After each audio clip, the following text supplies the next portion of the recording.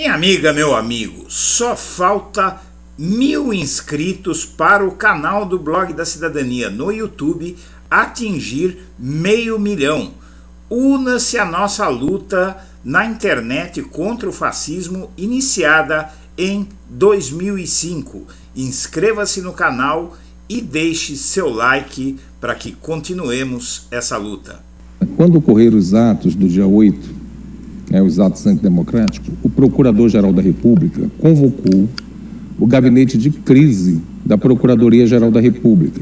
O gabinete de crise é composto pelos coordenadores das câmaras temáticas do Ministério Público Federal. Ele me convidou para coordenar esse grupo em razão de eu ser o coordenador criminal do Ministério Público Federal. Entendeu que eu teria melhor aptidão para tratar desse tema e investigar esse tema. E foi assim que se deu, eu aceitei e estamos aí nessa empreitada. Bom dia, senhoras e senhores. Hoje é 10 de novembro de 2023, são 10 horas da manhã. Muito bem, e esse sujeito que você viu falando aí, o subprocurador-geral Carlos Frederico, que recentemente disse à revista Veja que na delação de Mauro Cid não tem nada contra o Bolsonaro, volta à carga e demonstra, inclusive, nessa entrevista que ele deu à televisão do MPF no YouTube que não há nada contra Bolsonaro na delação que ele pilota, na delação de Mauro Cid, que quem pilota isso no Ministério Público é esse cara aí. O Tenente Coronel Mauro Cid narrou na sua delação premiada a ele que a ex-primeira-dama Michele e um dos filhos do ex-presidente, o deputado federal Eduardo Bolsonaro, do PL de São Paulo, faziam parte de um grupo de conselheiros radicais que incitavam o então presidente da República, Jair Bolsonaro, a dar um golpe de Estado e não aceitar a derrota nas eleições do ano passado. De acordo com o relato de Cid, como saiu por toda parte na imprensa hoje, esse grupo costumava dizer que Bolsonaro tinha apoio da população e dos atiradores esportivos, conhecidos como CACs, colecionador, atirador desportivo, caçador, para uma tentativa de golpe. Essas informações foram extraídas de reportagem do UOL publicada na manhã desta sexta-feira. O tal Carlos Frederico diz que o tenente-coronel ainda afirmou que Jair Bolsonaro não queria desmobilizar os manifestantes golpistas acampados em unidades militares pelo país, porque acreditava que seria encontrado algum indício de fraude, etc, etc. O ex-ajudante de ordens da presidência da República, eh, Cid, era testemunha direta das conversas de Bolsonaro e ele havia sido preso em maio e foi solto em setembro após assinar a delação com a Polícia Federal que o Ministério Público está pilotando através desse Carlos Frederico. E como você viu, quem colocou o Carlos Frederico na pilotagem da delação do Mauro Cid foi quem? Ninguém mais, ninguém menos que Augusto Aras. Ele acabou de falar isso no início dessa reportagem. As informações do depoimento de Cid foram confirmadas por três fontes do UOL que acompanham o assunto. O material da delação premiada atualmente está sob análise desse cara, o Carlos Frederico Santos, subprocurador-geral da República na PGR. Em entrevistas recentes, o tal PGR diz que a delação de Cid é fraca, ele desmoralizou a delação de Cid e sugeriu que, o, que a PF fez acordo sem provas. A delação eu não achei forte, disse ele, em nada. A princípio eu achei que as informações foram fracas, diz o subprocurador Carlos Frederico dos Santos. Apesar de esse sujeito dizer uma coisa dessas, o fato é que provas há sim.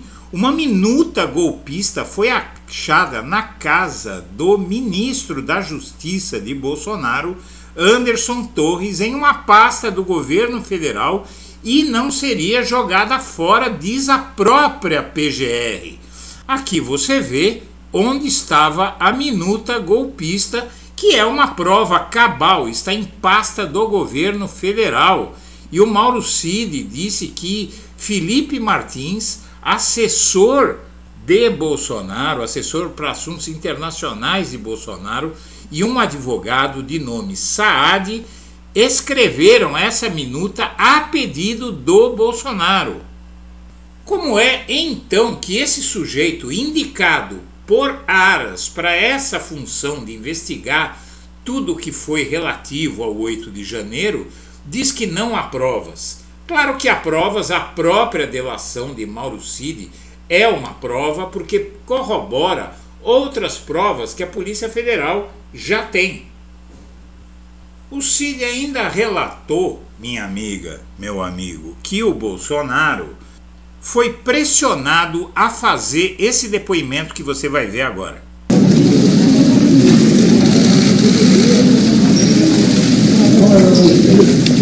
Ok, posso começar?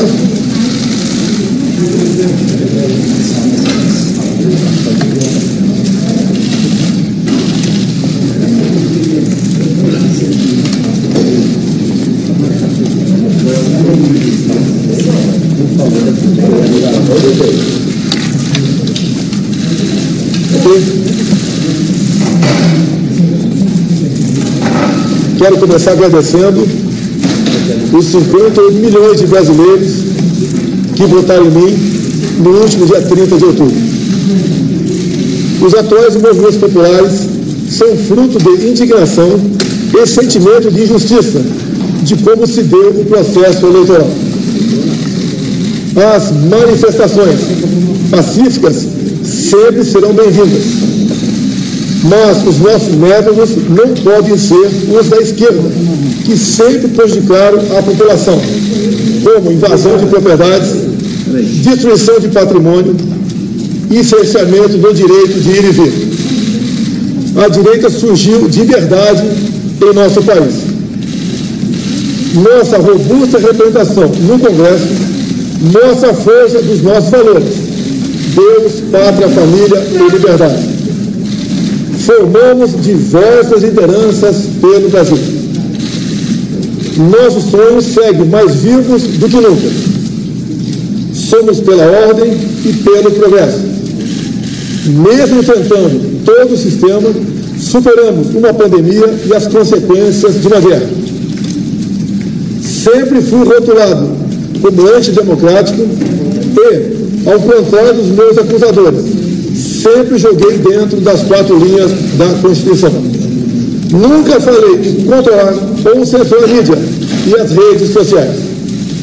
Enquanto presidente da República, esse cidadão continuarei cumprindo todos os mandamentos da nossa Constituição. É uma honra ser o líder de milhões de brasileiros que, como eu, defendem a liberdade econômica, a liberdade religiosa, a liberdade de opinião, a honestidade e as cores verde e amarela da nossa bandeira. Muito obrigado. Como você vê aí, ele não disse absolutamente nada para parar as interrupções de estrada ou que reconhecia a vitória do adversário. Coube ao Ciro Nogueira, que estava atrás do Bolsonaro, o então chefe da Casa Civil, dizer que seria iniciado pelo governo a iniciada pelo governo a transição para o governo Lula, mas como você vê o Bolsonaro ele até incitou mais as eh, ações golpistas que se espalharam pelo país com os caminhoneiros eh, parando estradas, impedindo o direito de ir e vir das pessoas, inclusive pessoas doentes que ficaram barradas nos bloqueios que eles fizeram. Por fim, então, minha amiga, meu amigo, você vê como Bolsonaro usa as alegações desse procurador que dão a ele argumentos para se dizer inocente diante de tudo que aconteceu.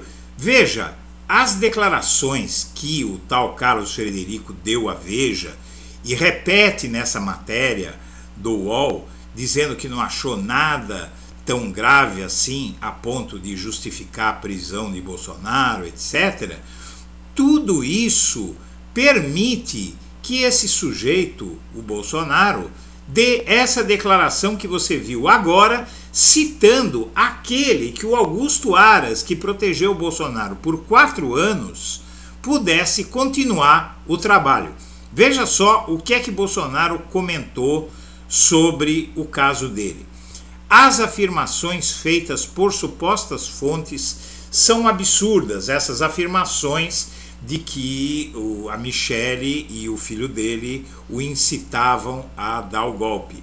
Ele diz: as afirmações feitas por supostas fontes, que seria o Mauro Cid, são absurdas e sem qualquer amparo na verdade, e, via defeito em elementos de prova causa um só tempo espécie preocupação à defesa do ex-presidente Bolsonaro que tais falas surjam nesses termos e contrariem frontalmente as recentíssimas ditas e reditas declarações do subprocurador da República, Dr. Carlos Frederico, indicando que as declarações prestadas pelo tenente-coronel Mauro Cid a título de colaboração premiada não apontavam qualquer elemento que pudesse implicar o ex-presidente nos fatos em apuração, afirmou o advogado Paulo Cunha Bueno, advogado de Bolsonaro.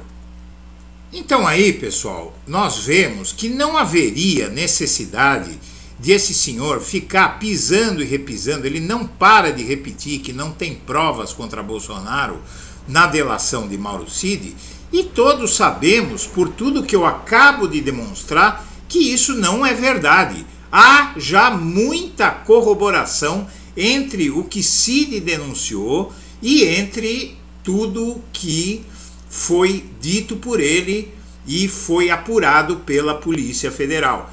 Então, minha amiga, meu amigo, o Aras colocou esse sujeito lá para fazer o que ele está fazendo, continuar o trabalho de Aras. A permanência desse subprocurador que já inocentou Bolsonaro por antecipação nessa condição de pilotar a delação premiada de Mauro Cid é insustentável e seria muito bom que o presidente Lula nomeasse rapidamente o novo procurador-geral da República que trocasse toda essa equipe infectada pelo bolsonarismo. Senhoras e senhores, eu agradeço a atenção e deixo meu melhor abraço para todo mundo.